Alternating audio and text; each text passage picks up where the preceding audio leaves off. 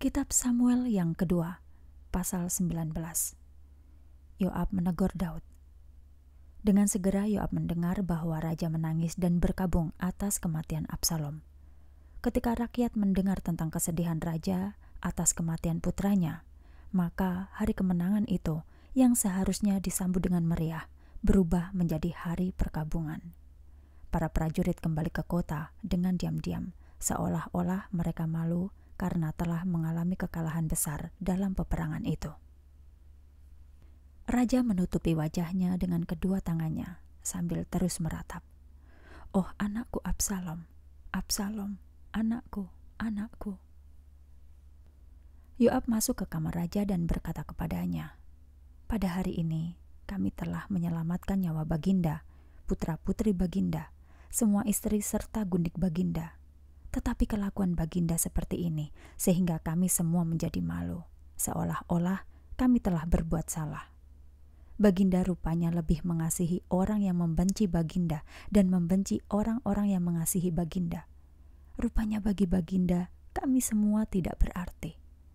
Pasti Baginda lebih senang seandainya kami semua yang mati dan Absalom sendiri yang hidup. Sekarang keluarlah dan berilah semangat kepada anak buah Baginda karena demi Yahweh, Tuhan, bila Baginda tidak mau melakukannya, maka tidak seorang pun akan tinggal di sini pada malam ini juga. Keadaan Baginda akan menjadi jauh lebih celaka daripada apa yang pernah Baginda alami selama hidup Baginda. Lalu Raja Daud keluar dan duduk di dekat pintu gerbang kota. Ketika seluruh negeri mendengar bahwa ia ada di situ, mereka datang menghadap dia. Sementara itu, orang-orang Israel sudah melarikan diri ke kemah masing-masing. Daud kembali ke Yerusalem. Segenap rakyat dari berbagai suku Israel berkata satu sama lain, "Mengapa kita tidak segera membawa raja kembali ke Yerusalem? Bukankah ia telah melepaskan kita dari musuh-musuh kita, orang Filistin?" Absalom yang telah kita angkat sebagai raja telah mengusir dia dari Yerusalem tetapi sekarang Absalom telah meninggal. Marilah kita mengajukan permohonan agar Daud mau kembali dan menjadi raja kita lagi. Lalu Daud mengutus orang kepada Imam Zadok dan Imam Abiatar untuk menyampaikan pesan kepada para tua-tua Yehuda demikian. Mengapa kalian sangat lambat dalam usaha menetapkan aku kembali sebagai raja? Bukankah seluruh Israel telah mengajukan hal itu? Tetapi kalian masih menunda-nunda. Padahal kalian adalah saudaraku sendiri, satu suku, dan sedarah sedaging dengan aku. Dan ia menyampaikan pesan untuk Amasa, demikian. Karena engkau kemenakanku, biarlah Allah menghukum aku kalau aku tidak mengangkat engkau sebagai panglimaku menggantikan Yoab. Amasa berhasil meyakinkan semua orang Yehuda. Mereka setuju dengan suara bulat untuk menyampaikan kabar kepada raja begini: "Kembalilah kepada kami, Baginda dan semua orang yang ada bersama Baginda." Maka berangkatlah raja pulang ke Yerusalem. Ketika ia tiba di tepi sungai Yordan, orang-orang Yehuda telah menunggu di Gilgal untuk menyambut dia dan mengiringi dia menyeberang sungai itu. Simei, putra Gera, orang Benyamin dari Bahurim, juga ikut dengan orang-orang Yehuda itu untuk menyambut kedatangan Raja Daud. Selain itu, ada seribu orang dari suku Benyamin yang menyertai dia, termasuk Ziba, hamba Saul, dan kelima belas putra Ziba dan kedua puluh pelayannya. Mereka cepat-cepat menyeberang lebih dahulu dan bekerja keras untuk menyeberangkan keluarga Raja Daud serta para pengikutnya. Semua orang berusaha memberi pertolongan sesuai dengan kemampuan mereka masing-masing. Ketika raja hendak menyeberang, Simei sujud di hadapannya sambil memohon, "Ya Tuanku Raja, ampunilah hamba dan jangan mengingat perbuatan keji yang hamba lakukan pada waktu tuanku meninggalkan Yerusalem. Hamba tahu betapa besarnya dosa hamba terhadap tuanku. Sebab itu, pada hari ini hamba datang ke sini." Sebagai orang pertama dari segenap keturunan Yusuf untuk menyambut kedatangan tuanku kembali. Abisai, putra Zeruya, berkata, Bukankah Simei sebaiknya dijatuhi hukuman mati karena ia telah berani menyumpahi raja yang diurapi Tuhan?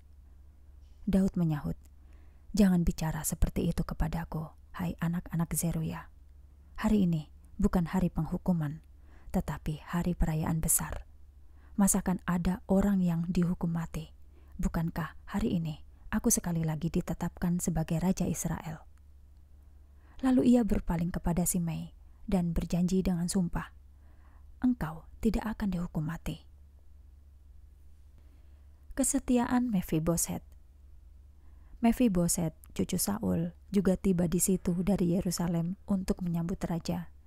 Ia tidak pernah mencuci kakinya dan pakaiannya, juga tidak mencukur janggutnya sejak hari raja meninggalkan Yerusalem. Raja bertanya kepadanya, "Mengapa engkau tidak ikut dengan aku, Mephiboset?" Mephiboset menjawab, "Ya baginda raja, aku telah ditipu oleh Ziba hambaku. Sebenarnya aku telah berkata kepadanya, pelanai keledaiku, supaya aku dapat ikut bersama raja. Karena seperti yang Baginda ketahui, hamba ini lumpuh. Tetapi Ziba telah memfitnah hamba dengan berkata bahwa hamba tidak mau ikut. Namun Baginda adalah seperti malaikat Allah. Jadi perbuatlah apa yang terbaik menurut Baginda. Memang hamba dan segenap sanak keluarga hamba patut menerima hukuman mati dari Baginda. Tetapi Baginda telah memberi kehormatan kepada hamba dengan mendudukkan hamba di antara orang-orang yang makan semeja dengan baginda. Jadi, mana mungkin hamba masih mempunyai keluhan terhadap baginda? Daud menjawab, "Untuk apa kita mempersoalkan hal itu? Aku telah memutuskan agar engkau dan Ziba membagi rata tanah yang telah kuserahkan kepadamu." Lalu berkatalah Mephiboset, berikan saja seluruhnya kepada Ziba, karena hamba sudah merasa puas bahwa Baginda Raja dapat pulang dengan selamat. Barzilai diberi pahala.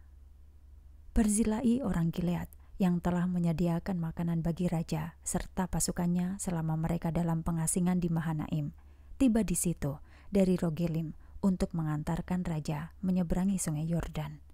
Ia telah sangat tua, usianya 80 tahun dan sangat kaya. Raja berkata kepada Barzilai, Mari ikut menyeberang dan tinggallah bersama aku di Yerusalem. Aku akan memelihara engkau di situ. Barzilai menjawab, Hamba sudah terlalu tua untuk ikut dengan baginda ke Yerusalem. Umur hamba sudah 80 tahun, dan hamba telah kehilangan gairah hidup. Makanan dan air anggur tidak lagi menggugah selera hamba dan segala macam hiburan tidak mendatangkan kesenangan bagi hamba. Hamba hanya akan menjadi beban bagi tuanku raja. Hamba hanya hendak mengantar baginda sampai menyeberang sungai ini saja, dan itu sudah merupakan satu kehormatan yang besar bagi hamba. Setelah itu, biarkan hamba pulang dan mati di kota kelahiran hamba, di tempat ayah dan ibu hamba dikuburkan tetapi inilah Kim Ham. Biarlah ia ikut dengan Baginda dan menerima segala kemurahan Baginda. Raja setuju dan berkata, Baiklah, Kim Ham akan ikut dengan aku. Aku akan memperlakukan dia sebagaimana aku akan memperlakukan engkau. Lalu semua orang menyeberangi sungai Yordan bersama raja.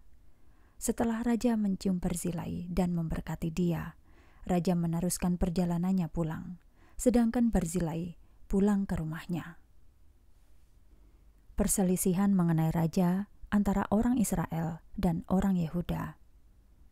Raja melanjutkan perjalanannya sampai ke Gilgal, dan Kimham ikut dengan dia. Segenap suku Yehuda dan setengah rakyat Israel mengantarkan raja. Tetapi orang-orang Israel masih merasa penasaran dan mereka berkata kepada raja, "Mengapa hanya orang-orang Yehuda saja yang mendampingi raja serta keluarganya dan para pengikutnya ketika menyeberangi sungai Yordan. Lalu orang-orang Yehuda menjawab, "Mengapa tidak? Bukankah raja adalah salah seorang anggota suku kami? Mengapa kalian marah? Kami tidak pernah minta apa-apa kepadanya, dan ia tidak pernah menyediakan makanan untuk kami atau memberikan hadiah kepada kami. Orang-orang Israel berkata lagi, "Tetapi kami terdiri dari sepuluh suku keturunan Israel, jadi kami memiliki hak sepuluh kali lipat daripada kalian dalam hal mendukung raja. Mengapa kalian tidak mengundang kami semua?" Dan ingat, kamilah yang mula-mula mengusulkan agar ia ditetapkan kembali sebagai raja kita. Pembantahan itu berlangsung terus-menerus tanpa ada penyelesaian, dan orang-orang Yehuda mengeluarkan perkataan-perkataan yang lebih kasar daripada orang-orang Israel.